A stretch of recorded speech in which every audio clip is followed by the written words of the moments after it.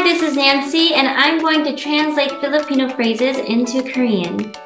My name is Akupo Ice 내 이름은 How are you? 그무스타까? 잘 지냈어요? Love you. 마할 기타.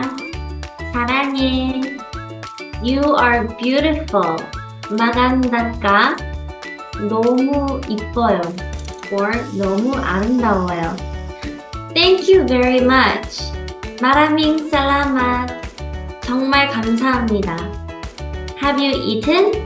꾸마인 까나바? 밥 먹었어요? Take care. 인gat. 잘 지내. Let's go. 살아. 가자. 마부하이. Long live. 건강하세요. Goodbye. 빠알람. 안녕.